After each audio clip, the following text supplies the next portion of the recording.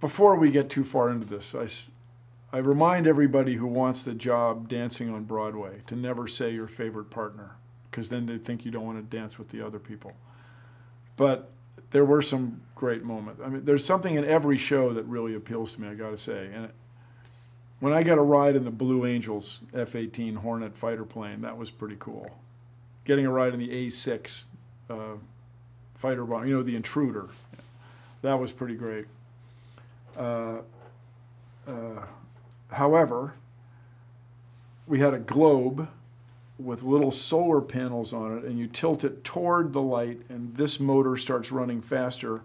You tilt it away from the light, and it starts running slower, just the way you have winter and summer on the Earth's surface.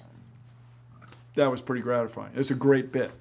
I think about, so it was going to Radio Shack, spending 20 bucks and a globe, and it's just very, like, that's it. That's how it works. That's, we explained it. The Earth Season Show where we show the Earth is tilted.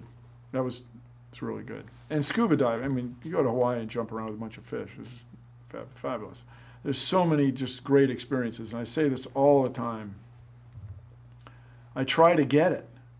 I try to get how cool it was, and how many great things we were involved in. But it was so busy.